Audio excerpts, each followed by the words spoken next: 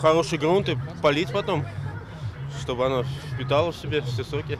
Представители медиаполя знают толк и в садово-огородных делах.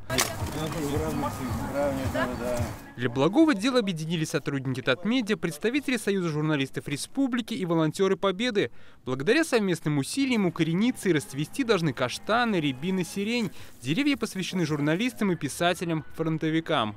Посадить сад памяти в честь э, наших коллег, журналистов и писателей, которые ушли на фронт, и более 50 из них не вернулось. Это значит отдать не только дань памяти. Ну, дерево – это как символ жизни, как символ дальнейшего возрождения и преемственности поколений.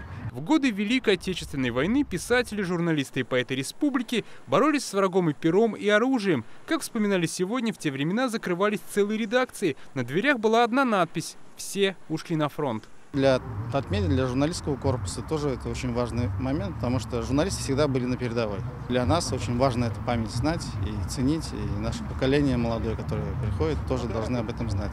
Акция «Сад памяти» сегодня началась во многих городах и районах республики. До конца мая в Татарстане планируют посадить более 700 тысяч деревьев. В Татарстане было э, отправлено на фронт более 700 тысяч солдат, половина из них не вернулась. Министерство лесного хозяйства республики э, нам подсказывает, в какой период, э, в какой местности, какие лучше саженцы, сеянцы сажать. В стране в память о каждом погибшем солдате высадят 27 миллионов деревьев.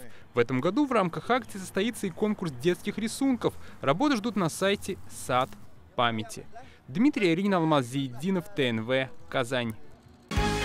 Закажи рекламу на ТНВ. Телефон в Казани 5 705 100.